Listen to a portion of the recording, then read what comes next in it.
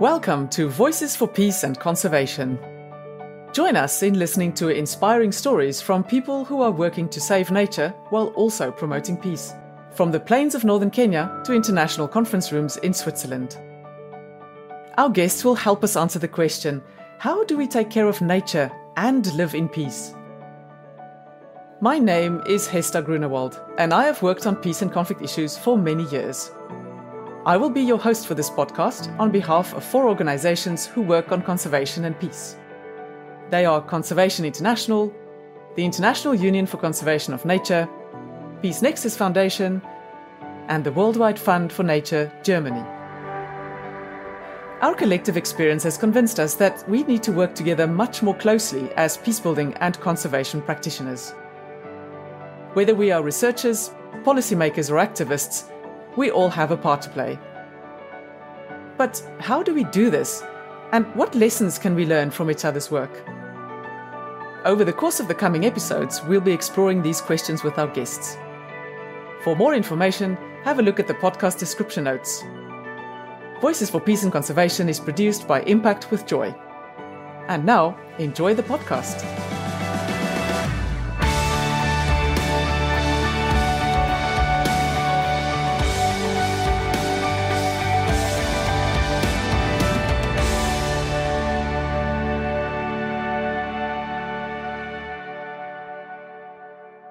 Over the course of this podcast, we've heard from many people and learned a lot about what it takes to save nature and live in peace. We've talked about conserving animals and habitats, responding to climate change and environmental security, and integrating the environment as part of peace processes. We've heard from the people doing this work around the world and the particular contributions of women and Indigenous people. In this final episode, we're asking where do we go from here? Where should we put our energy, time, and money if we really want to make a difference? To help us answer these questions, we have three guests today. Our first guest is Hassan Mowlid Yassin, who is the Somali focal point for the African Youth Initiative on Climate Change and the vice chairperson of the youth led Somali Greenpeace Association based in Mogadishu. Hassan has been working on educating people about the impacts of climate change and encouraging action to address this such as protecting and increasing plant and tree cover. We are also joined by Ulrika Åkesson, Lead Policy Specialist Environment and Climate Change, and Anna Åkerlund, Lead Policy Specialist Peace and Security from the Swedish International Development Agency, also known as SIDA. Ulrika and Anna, in a way, illustrate exactly what we have been talking about during this series. Ulrika works on the environment and Anna works on peace. But they have been making the case for these two perspectives to be much more closely integrated with each other and across Sweden's development cooperation initiatives. Welcome to all three of you. Thank you. Thank you so much. Hello.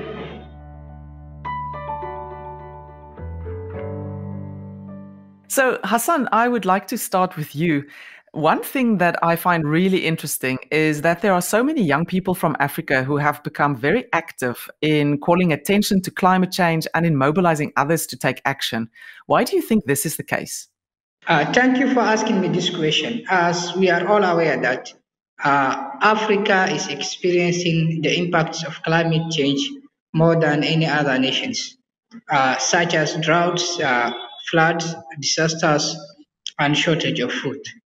And as a result of this one, young generations in Africa, since they make up of 70% of the population, they are the most uh, impacted people.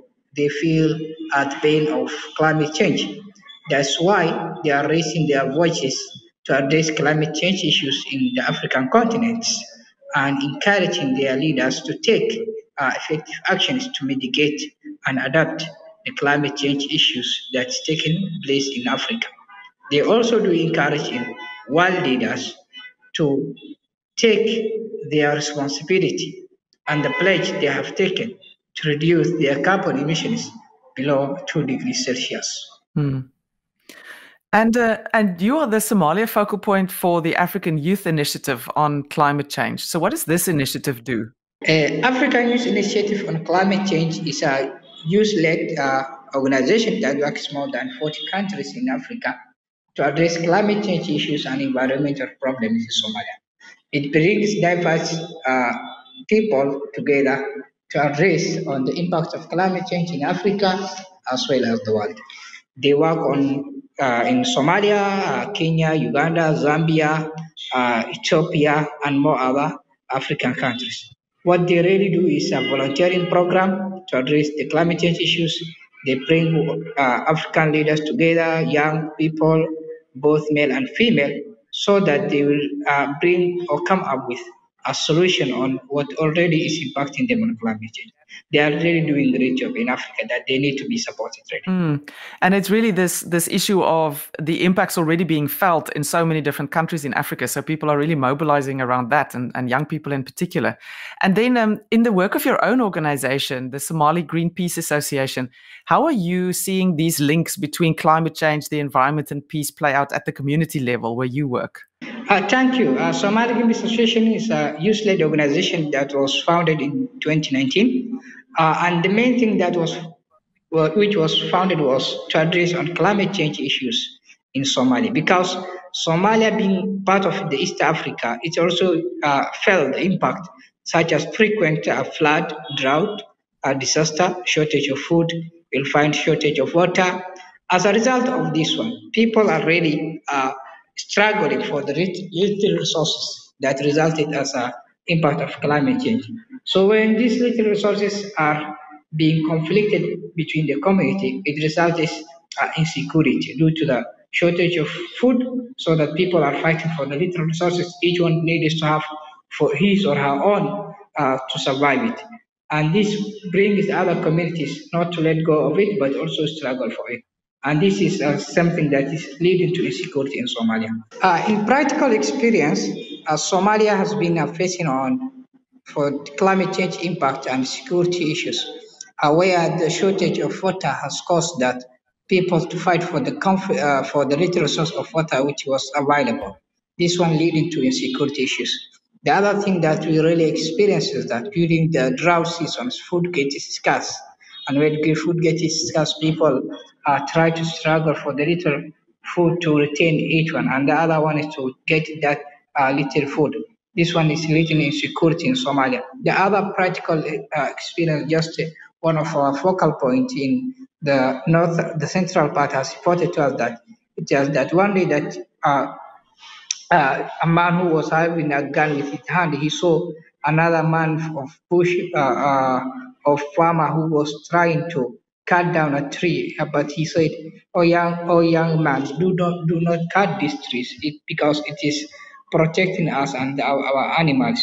But since the other one was not was ignorant about the importance of trees, he argued with the other person who was having the gun, and he mm. tried uh, to attack the uh, the knife with the person who was having the gun. Uh, unfortunately, uh, protecting himself, uh, the one who was having the gun shoot the man, uh, resulting in one death of the people. And he took this one, uh, and he did not run away and not, not leave the body there, but he took the body and took his family. He said, This is what happened. You can either jail me or you can uh, take uh, uh, the, uh, the compensation or you can either kill me. this is one of the sad stories. Both the two people were bushmen, but one was was uh, aware of the importance of the trees that the community has, while the other one wanted to cut it for either charcoal or other purpose of use. So this is also which can uh, lead to security issues. Uh, mm. And there are other uh, sad stories that you'll find that people now, uh, as a result of climate change, uh, due to shortage of water, a young uh, mm, female who had two children they die due to shortage of water due to their areas. As a result, this is something that causes uh, insecurity. In fact, life insecurity. Mm. That sounds very serious. And then even when people talk about conservation, trying to to conserve the trees, even that can cause conflict because of these different uses that people want to have for the for the resources. And um, and can you say can you tell us a little bit more about what are the roles that are being played by men and women in the communities when they're trying to address these challenges? Uh, both men and women play an important role in addressing uh, climate change issues, like uh, especially our young generation, the youth. who are now have realized the impact of climate change because our old people they feel the impact but they they do not really know what is impacting them but this is uh, now we take the uh, uh, our hands together to say this is what's impacting you we they go both the rural areas and the urban areas to address them uh, the floods that they are seeing now and then and the way they can adapt with it uh, by doing uh, educational programs uh, and such as planting trees. In fact, uh, one of the practical things that since we have started this program, both our young female and men are being uh, contacted with other communities so that they can also go to those communities, address climate change issues, and plant trees. It was just yesterday that uh, the youth leader in uh, Central Park, a place called in uh, uh, he contacted us and he wanted to plant some trees in those areas. And those three areas are uh, harsh conditioned areas with a lot of sun, but the trees are so scant. So due to our financial gaps, we could not uh, read them, but we promised that some of our focal points will read them, educate them, and if we can find fund for them, we will actually at least uh, plant some trees to those areas to mitigate both climate change and environmental impact. The other thing that the youth are doing now, they are coming together to address on food security, on how they can adapt with the flooding that takes place with the shortage of water, how they can uh, use the new technology. In fact, now, now we need to bring about on this one the renewable source of energy, which can be uh, play a, vi- a vital role uh, in addressing some of these issues because energy is something important. For example, they can use for uh, the well uh, for pumping using the solar energy instead of the electricity, which causes high. They can also use the other technology we call uh, dripping water to irrigate uh, farms instead of using the older systems uh, or, rely, or depending on purely on the rainfall, which is quite sometimes might not be uh, good. The other thing that we are encouraging is uh, catchment methods of water uh, because since the rains come, sometimes you'll find that all the water that are fell down are being lost. And I was just inquiring. Now we have been receiving it's our monthly rainy seasons. I was asking some of the rulers, do you catch uh, the water? Do you do catchment water? But since they are adapting to the urban model, they have stopped using uh, catching these waters. You will find that water goes waste. But we encourage them and both the focal points of those areas to adapt the old systems where each uh, house had its own uh, rack or its own storage for uh, the rainy water, which was also uh, a source of livelihood income. The last time I used to be, live in the urban area in far of the central part of Somalia. So this is an issue people also are diverting from the uh, traditional path and going to the uh, modern uh, uh, rural urban part, which is also another negative issues because catchment of water is a very important role. Because I now living in the urban, when I found that the rain uh, water starts, I at least have to uh, catch those water almost two jirgans or two barracks either to use for either for drinking and and for washing since it's a pure water from uh, the heaven, which is a very important for the normal life. Great. So it, it is really about um, adapting practices across the board and young people really playing that role of creating awareness, trying out things, doing some projects and, and really trying to, to implement some of these ideas. And so when you're doing all of this work, uh, how are you engaging with the government and what do you need governments to do to help you produce some of these ideas and reproduce some of these ideas and practices at a bigger scale?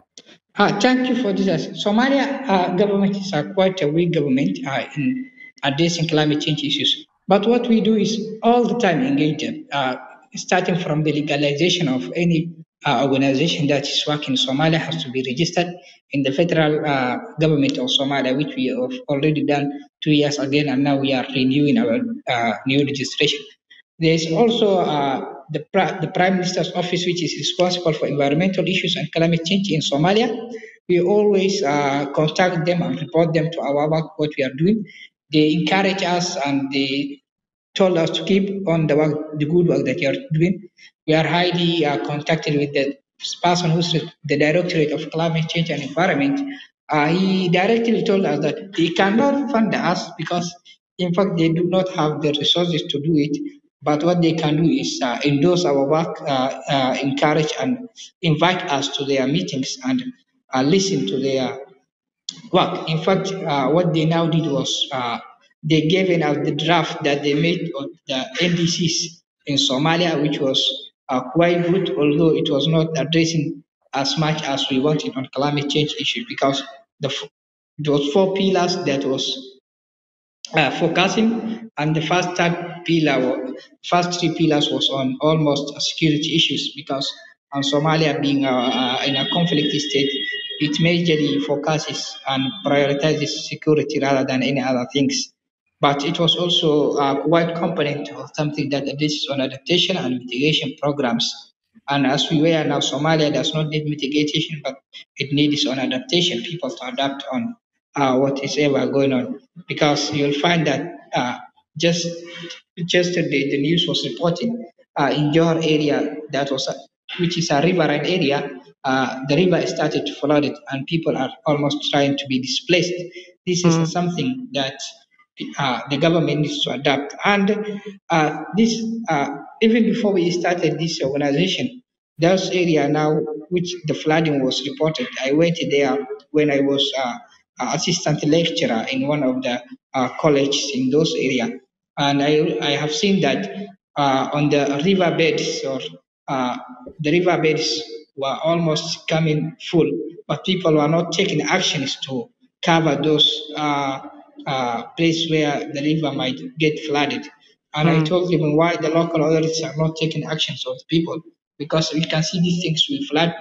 But they responded me sometimes, uh, these people cannot do it. I say they can do it. Why? It just needs something small before it gets bad. And when I went, I came back from those mm. areas one month later, I have had the whole area flooded. And this is why we have taken these such actions to address uh, these things in either to take prior actions or to prevent things before it occurs. Yeah. The government is and, trying its best, but it's not fun. Okay, and, and, and sorry, Hassan, I also just wanted to ask you to tell us what is an NDC, so we're all clear on that. Yeah, national determined contributions. Okay, great. So there are, there is some action, but uh, also not a lot of support uh, in resource terms, but support in political terms. And uh, and maybe a, a, last question for you, Hassan talking to the international community and and people you know regionally in africa but also more internationally what could they do to help support the efforts of people like yourself your organization and other youth activists in africa? Uh, thank you. Uh, international communities both uh, the african leaders and the world leaders can take effective actions to support young youth-led organizations such as by financing by capacitating uh, the young itself to address climate changes by by bringing them to the table for negotiations. Uh, and this is something already now it has begun, but we need what has begun was really on negotiations and bringing youth on the table because we have they have seen that youth, youth are taking front lines to address climate change issues, both Africa and the world.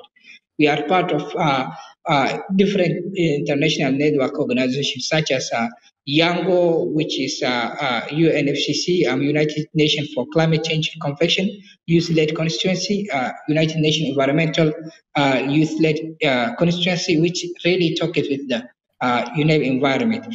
And this is now what, but what we have all agreed that it's not enough for only negotiations, but uh, leaders and uh, international collaboration should take uh, uh, actions to provide financial assistance for those youth-led organizations to run their projects, to do more things what they can do now. Because it was realized they are doing more things than what the government already is doing. And the governments are impressed with young people. Because in Africa, at the end, you will find all things are impacted. The vulnerables are young people, and it's them who are doing the great work. Hmm. Excellent. That's a that's a great note to to end that on. Thank you very much, Hassan. Thank you. Ulrika, let me come to you next. Hassan has talked a lot about the work that is being done at the local levels, but also how these youth networks engage with government decision makers and other multilateral bodies. So, from your experience working with the Swedish government, What do you see as the big environmental issues that the governments and the international community are paying attention to? And what is top of their environmental agenda at the moment? Well, I think Hassan managed to illustrate the big environmental issues earlier in an excellent way. Uh, but let me start with a description that I think shows the magnitude of things. Um, Christiana Figueres, earlier executive secretary, secretary of the United Nations Framework uh, Convention on Climate Change, said recently that there is a COVID wave, and behind that wave, and larger than those two is the biodiversity crisis. And behind that, and 10 times higher than all of those, is the climate change crisis. And underlying all the waves is the inequality crisis. And I think that governments and business must turn around and focus on dealing with not just the first COVID wave, but the longer term crisis. And importantly, they need to join up in solutions.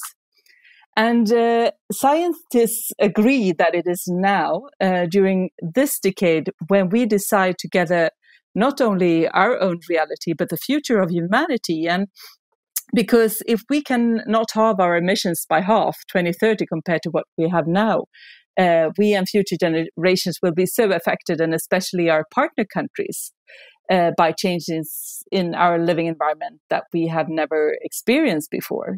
And I think governments are stepping up more and more, but there is a need to speed up. And it is now or never it has to happen. And more and more actors are talking about the need for transformative change, doing things differently to receive a shift to a low emission and climate resilience, nature positive, sustainable development, and all that. But it is also a must for development cooperation to do this. And also a need to see how everything is interlinked, not the least what we will talk about today, how climate change and environmental degradation is linked to conflicts. I'm, I'm glad you mentioned that dimension, Ulrika, because it really does create the sense of how all the systems connect the environmental crisis, the health crisis, the continuing inequality across the world, and also in terms of, of gender inequality.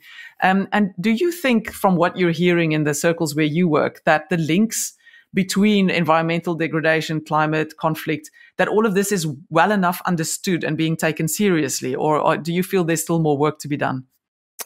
I believe there is more work to be done. Uh, it's definitely picked up more and more, but not in in to the extent that that would be needed. I think. Uh, and uh, among certain groups, it is definitely there. And I think, especially, we've come further when we talk about climate change and um, uh, particularly, but maybe not in the broader sense of environmental degradation and, and also biodiversity. So there's a lot more to be done there. Great. Um, and maybe Anna, from your side, focusing on the peace and security elements, what do you see as the big priority issues that the world is paying attention to now on the policy agenda? Um, well, first of all, I think that uh, the COVID 19 uh, crisis is still crowding out other issues. Uh, initially framed as, as a health and economic crisis, I think a broader debate on on its uh, wider socioeconomic impacts, including the impact on social cohesion and risk of civil unrest in crisis, is, has only now started to enter the mainstream. And as Ulrika said, we are in the midst of multiple crises. Um, the biodiversity crisis and the climate change crisis are so much bigger and more complex. And complex risks need comprehensive responses. So we need to be comprehensive in our response and work across our different thematic areas governments do recognize, but not enough, that there are connections between climate change and conflict. Uh, climate impacts can exacerbate structural vulnerabilities, such as political grievances, inequality, gender based marginalization, food insecurity, and underemployment. And in societies that are directly dependent on natural resources with small margins and little resilience, and increased scarcity in those natural resources can lead to increased competition and a deterioration and loss of livelihoods. Uh, the the risk that that in turn leads to insecurity and violence is is higher in context with a history of conflict, where there are no or weak institutions for conflict resolution. Especially when there are inequalities between different groups, and climate change and loss of biodiversity affects those groups differently. And it's not only about the effects of environmental changes in themselves, it's also about the effects brought about by the measures that we take to adapt and cope with or slow down climate change. Change management is not easy. When societies go through big changes, there will be clashes of interest that will need to be somehow reconciled. The other side of that coin, though, is that wise management of natural resources and access to water can be used as entry points for social cohesion in contexts where scarcity is a driver of tensions and conflict. Uh, we we can make sure that we we should make sure that our response to climate change and biodiversity loss strengthens social cohesion by encouraging cooperation across any pre-existing divisions and fault lines in our different societies, as well as across differences in, in the interests in relation to climate change adaptation. Um, we just heard from Hassan how he and other young people in Somalia and elsewhere are engaged in finding solutions to address climate change while also at the same time strengthening social cohesion. And I think it is true that youth are often the ones leading the way on this matter in Africa and elsewhere around the globe. An example of that is also the Fridays for Future initiative, and I think that all listeners to this pod will know that that movement uh, began when Greta Thunberg and other young activists sat in front of the Swedish parliament every school day for three weeks to protest against the lack of action on climate crisis. Yeah, exactly. And uh, and I'm also just thinking about both of your roles because you have um, quite influential roles in terms of inputting policy ideas and and evidence and um, experiences from elsewhere in the world into Sweden's uh, policy framework. And so I'm I'm wondering if you can give us a sense of how these different policy elements are finding a space in the in Sweden's policy. So where does the where do the environment and peace elements end up sitting? Are they in the same policies? Are they still spread across different policies? What what does it look like? Shall I start? Yeah, I think um, as as Anna mentioned earlier, it's it is important to go beyond climate change and include the broader natural resource dimension when talking security and environmental degradation hits poor people the most. And uh, and we see that and we see that in our both policy uh, areas uh, of course from from different um, point of view. And i think we could do much more in in terms of integrating um, uh, this within both our policy areas. Uh, so that that's just a short answer to that. But maybe Anna want to fill in. Yeah, I think um, I would say, although cautiously, that there is a tendency to at least talk about the need to work across sectors now uh, internationally. Uh, the UN twin resolutions about sustaining peace, the Agenda 2030, including SDG 16 about peaceful, inclusive societies, and working across the the so-called humanitarian development peace nexus. Uh, all of these ep- efforts are important in the peace building sector, but all of them also point to the need to work across sectors. Uh, but I say cautiously because uh, working in silos still predominates. We're not yet walking the talk. Yeah, no, and and it remains challenging to to do that cross-cutting thing and not overwhelm everyone with uh, multiple mainstreaming policies, I guess. Um, and I, I wanted to ask you, maybe Anna, you can you can start um, because we've heard about. You've mentioned also we've heard from Hassan about the work that he's doing and that other young people are doing across the world, really on these issues. And how do you think governments and international organizations could best support these efforts? And one way to support uh, the efforts is to support what they're trying to achieve. Uh, we all need to work together towards uh, slowing down, and mitigating climate change effects. And we all need to do so in a way that supports peace and sustainable development. Uh, in order to do that, we need to invest in and scale up local solutions. Uh, which includes stepping up efforts to involve young women and men and support youth led organizations already engaged in this type of work. Being at the forefront of climate crisis, young people and young peace builders must be involved in the solutions to address climate related security risks. International agreements are useful in this regard, in, in peace building since the adoption of Security Council Resolution 2250, which is about youth, peace, and security. SIDA has increased our efforts to support youth led peace building initiatives that traditionally have challenges accessing funds. So that has led to an increase of targeted support to, to participation of young women and men in conflict resolution and peace building programming. What we also need to see is more work across as well. There's some of that, and, and I think we will see more in the future. Yeah, no, it was just to fill in on on that we have a, a youth in focus uh, for a very important event coming up next year in Stockholm, and that's the Stockholm Plus 50. Uh, and uh, as you know, maybe that Sweden has proposed to host a high level UN meeting in Stockholm June 2022, and uh, 50 years since the pioneering Stockholm Conference on the Human Environment. And there, uh, it will focus on cross cutting actions that are designed to reduce inequalities, but uh, especially the poor and vulnerable. But the role of youth is really put in focus here. And uh, it will also be an opportunity, I think, to raise the interlinkages like climate, environment, and conflict in, in that conference.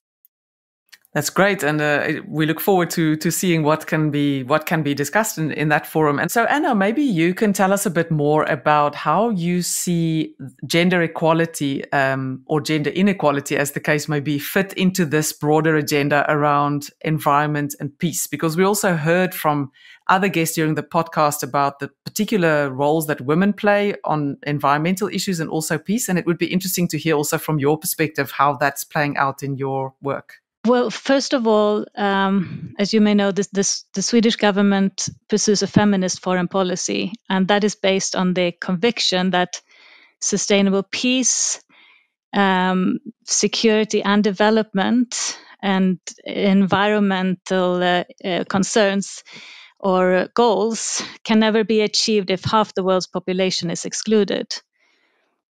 So, in general, there is a need to promote uh, gender equality and in my field, um, we have seen um, a lot of engagement, uh, not least by civil society, in the women, peace, and security agenda uh, these last two decades, in particular. And and they have been uh, there have been successes, um, but also um, th- that push is facing resistance, um, and even even a bit of a backlash the, the backlash is against uh, sexual and reproductive health and rights and, and and gender issues that are more general. So it's not specifically targeted at women, peace, security, but there there is a need to again to join hands and to work cross sectorally on on those issues as well. And I think that in peace building we have learned from from this from the women peace and security agenda the work around that but and from uh, the work around youth peace and security and and from many other sources, we have learned a lot in, about the need for inclusive approaches uh, to peace building embedded in dem- democratization and human rights promotion if we want the results of our work to be sustainable. Mm, absolutely. Um, and so, if I can ask both of you, maybe um, Ulrika, you can answer first, and then Anna. Where do you see the gaps uh, in the environment and peace policy agenda moving forward? Where should governments be prioritizing their efforts in the coming months and years? Well, that's that's a big question, but I I'll try to. Well, first of all, I think the escalating biodiversity loss is is leading to ecosystems not being able to deliver basic services like food and water, and putting stress on already vulnerable groups and also leading to tensions and conflicts. There we have a lot more to do to address that. And I don't know but uh, if you heard, but extractive industries are responsible for half of the world's carbon emissions and more than 80% of biodiversity loss. I think uh, resources are being extracted from the planet three times faster than 1970s. And that in itself is, I think, a real cause for conflict and, and needs to be addressed.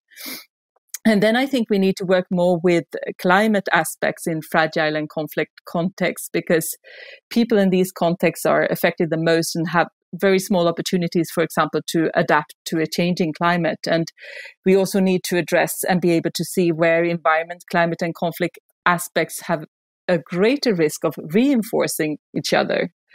And uh, also to continue to work with climate adaptation and disaster risk reduction and also access to renewable energy. And I think, when, which in its turn can have positive impact on peacekeeping and also to have an integrated approach to challenges that people in poverty face uh, in reality on the ground. And there are different layers, I think, of risk and vulnerability that that poor people and communities face, and we need to understand that. I think to to move ahead and and just address the gaps that you you mentioned.